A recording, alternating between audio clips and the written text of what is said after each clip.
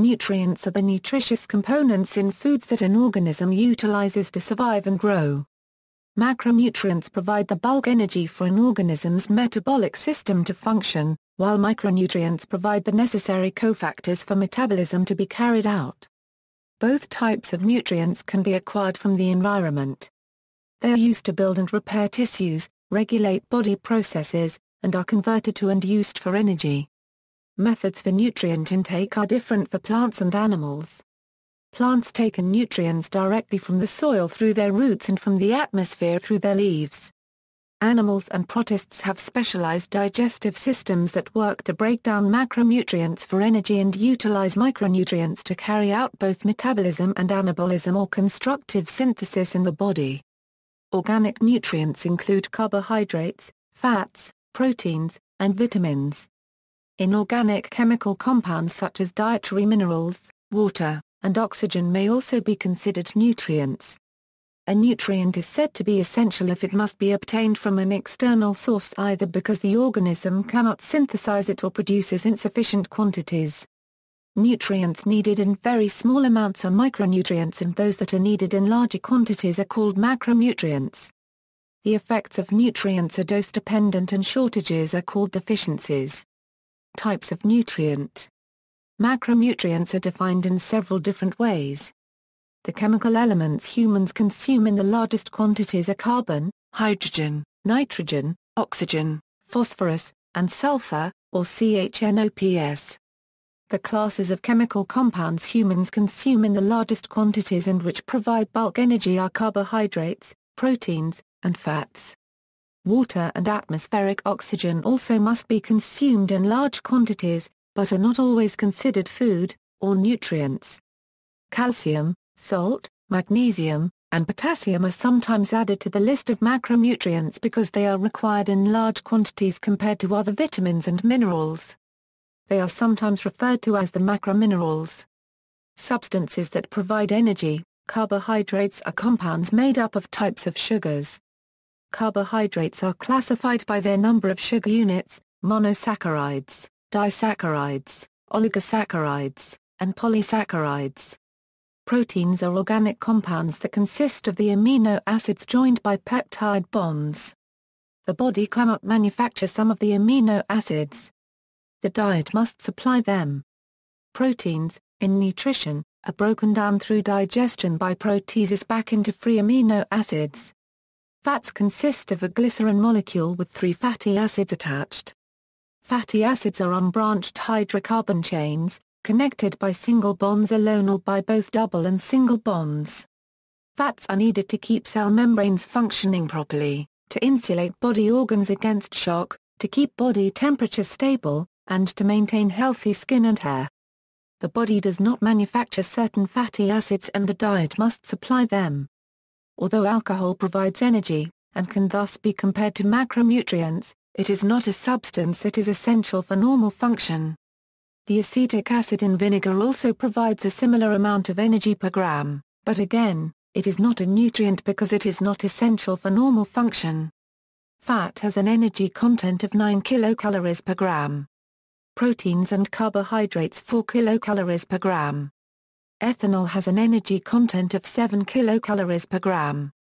Substances that support metabolism, dietary minerals are generally trace elements, salts, or ions such as copper and iron. Some of these minerals are essential to human metabolism. Vitamins are organic compounds essential to the body. They usually act as coenzymes or cofactors for various proteins in the body. Water is an essential nutrient and is the solvent in which all the chemical reactions of life take place. Plants absorb nutrients from the soil or the atmosphere, or from water. An exception are the carnivorous plants, which externally digest nutrients from animals before ingesting them. The chemical elements consumed in the greatest quantities by plants are carbon, hydrogen, and oxygen. These are present in the environment in the form of water and carbon dioxide. Energy is provided by sunlight. Nitrogen, phosphorus, and sulfur are also needed in relatively large quantities. Together, the Big Six are the elemental macronutrients for all organisms, often represented by the acronym CHNOPS. Usually they are sourced from inorganic or organic compounds, although elemental diatomic molecules of nitrogen and oxygen are often used. Other chemical elements are also necessary to carry out various life processes and build structures. See fertilizer and micronutrient for more information. Some of these are considered macronutrients in certain organisms. The mnemonic CHOPKN's CAFE-MG is used by some students to remember the list as carbon, hydrogen, oxygen, phosphorus, potassium, nitrogen, sulfur, calcium, iron, and magnesium. Silicon, chloride, sodium, copper, zinc, and molybdenum are sometimes also included, but are in other cases considered micronutrients. Essential and non-essential nutrients. Nutrients are frequently categorized as essential or non-essential. Essential nutrients are unable to be synthesized internally, and so must be consumed by an organism from its environment. Non-essential nutrients are those nutrients that can be made by the body. They may often also be absorbed from consumed food. The majority of animals ultimately derive their essential nutrients from plants, though some animals may consume mineral-based soils to supplement their diet. For humans, these include essential fatty acids, essential amino acids, vitamins, and certain dietary minerals. Oxygen and water are also essential for human survival, but are generally not considered food, when consumed in isolation. Humans can derive energy from a wide variety of fats, carbohydrates, proteins, and ethanol, and can synthesize other needed amino acids from the essential nutrients. Non-essential substances within foods can still have a significant impact on health, whether beneficial or toxic. For example, most dietary fiber is not absorbed by the human digestive tract, but is important in digestion and absorption of otherwise harmful substances. Interest has recently increased in phytochemicals, which include many non-essential substances which may have health benefits.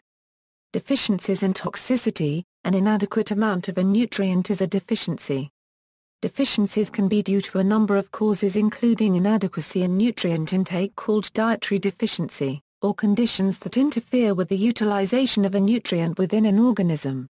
Some of the conditions that can interfere with nutrient utilization include problems with nutrient absorption, substances that cause a greater than normal need for a nutrient, conditions that cause nutrient destruction, and conditions that cause greater nutrient excretion.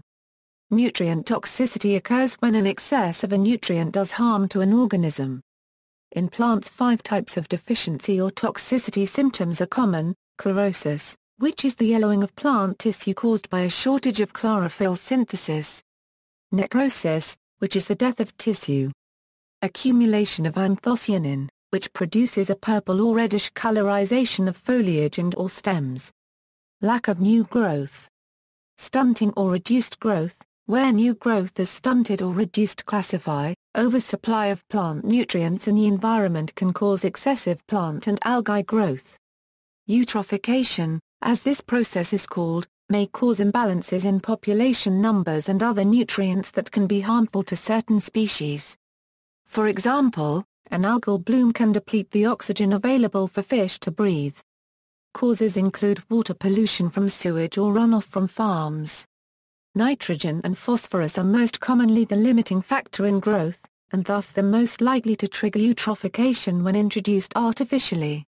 See also, Essential nutrient, List of macronutrients, List of micronutrients, List of phytochemicals in food, Underweight, Agricultural Research Service, Ecological Sanitation, Food Composition, Nutrient Density, Nutrients, Nutrition, Nutritionism, References